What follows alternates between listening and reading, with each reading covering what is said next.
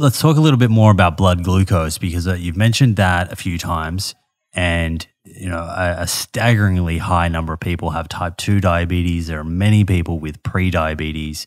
Uh, I'm interested in how time restricted eating can be utilized as a tool to help better blood glucose control. So, what's the kind of relationship between um, the time of the day, our meal, and blood glucose control?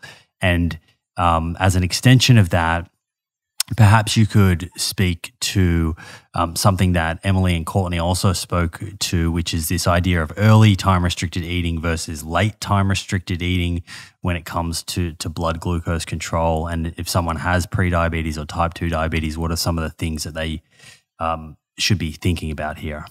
Yeah, so that's a very loaded question. So I will I'll break it down. So when we think of circadian rhythm, we always think of connecting it to sleep, but actually circadian rhythms are much more intimately re- related to blood glucose, the regulation of blood glucose, cholesterol, and fat.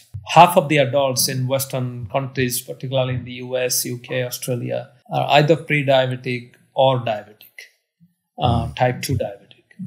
And this trend is also going up. So that means what we are doing um, as a as a society is something is very fundamentally wrong, and that may be this uh, eating randomly over a long period of time. So as I said in the morning, for example, when as soon as we wake up, if we eat, then at that time our pancreas is not ready to assimilate food in a way um, that our blood glucose remains healthy. One thing we have to keep in mind that we always say some diet is rich in protein, diet is rich in fat, but the bottom line is almost all food that we eat has some carbohydrate, unless you are just eating pure oil or pure uh, meat.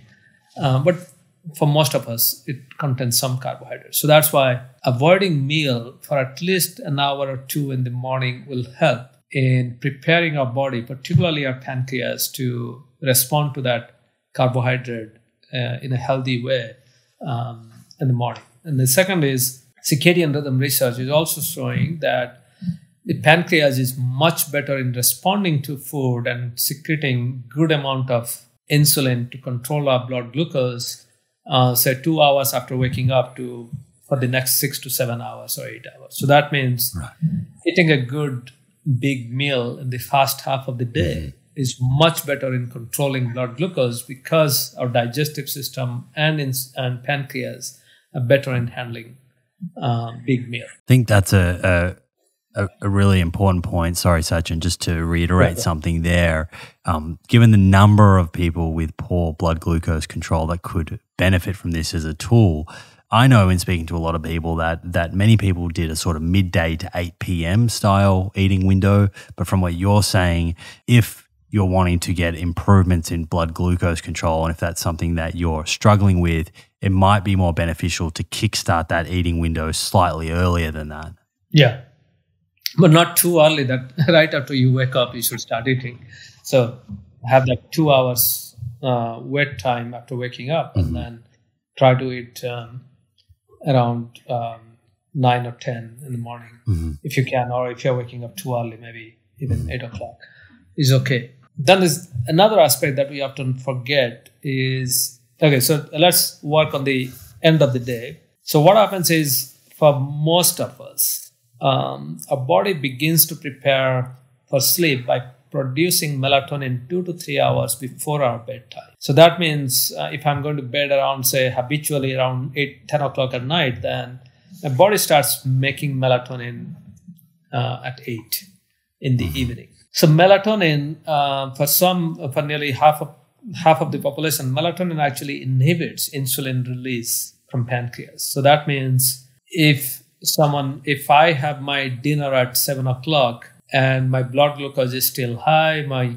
pancreas is kicking to produce enough insulin to bring that blood glucose low, then insulin, eh, sorry, melatonin comes in and inhibits that process so that um, my blood glucose can stay high for um, several minutes or even an hour or two longer.